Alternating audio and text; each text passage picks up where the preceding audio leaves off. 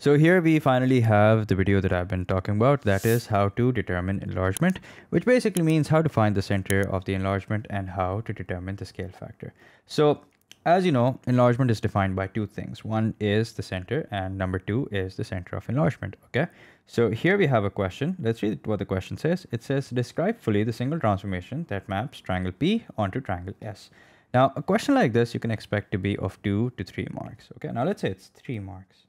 So here, yes, I know that we're doing enlargement, so it's definitely going to be enlargement, but uh, this is a past paper question. So that means you have to first determine what transformation it is. So the only transformation where the size changes is enlargement.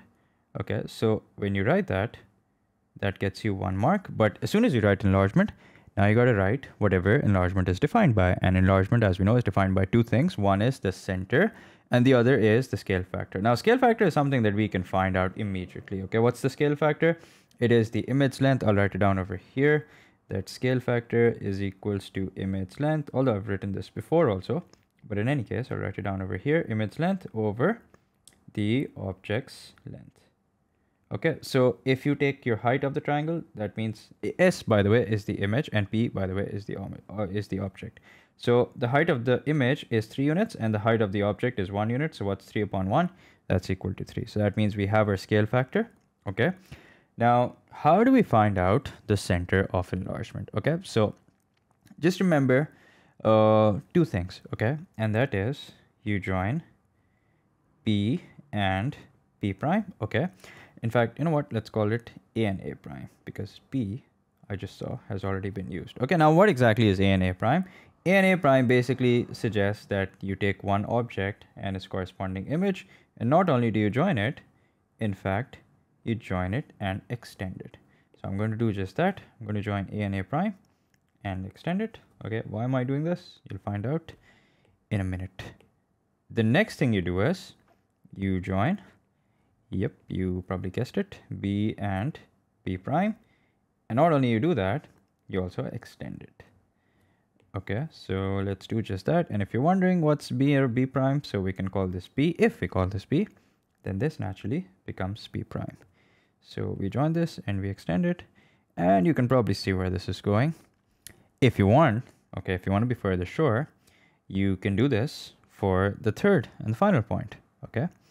And now you can definitely see where this is going. So the third and the final step is that the point of intersection, the point of intersection is what?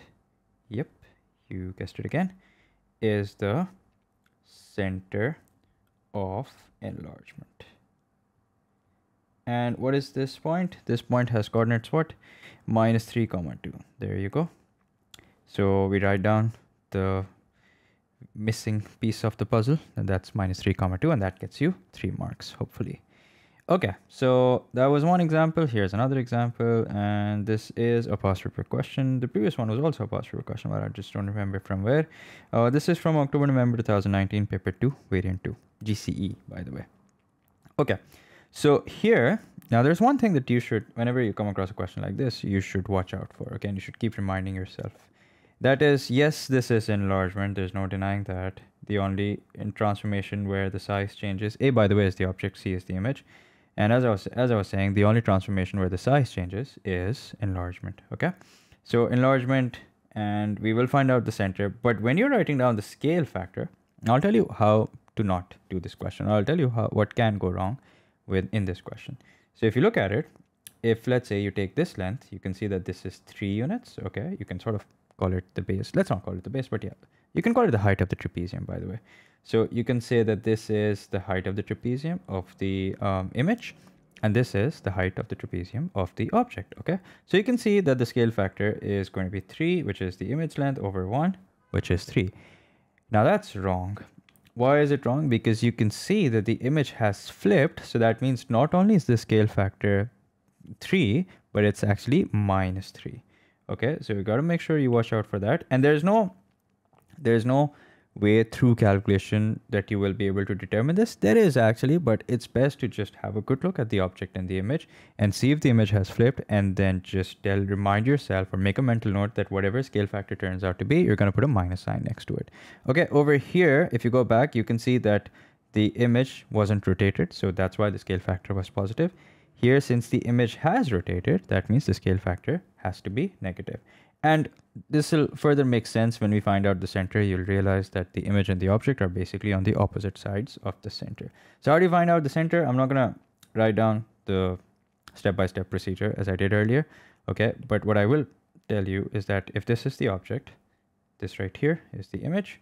So we join these two points and you can extend it if you want, but sort of if you think ahead a little, you can sort of tell that the center is going to be in between. Okay, so there's no point in extending these two lines. Okay, now let's find out another object and image. Okay, so this is an object here and the corresponding image is has to be over here.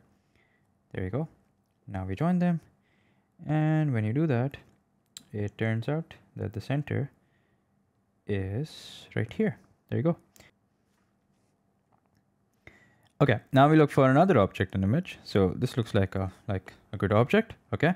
And the corresponding image has to be this point right here. There you go.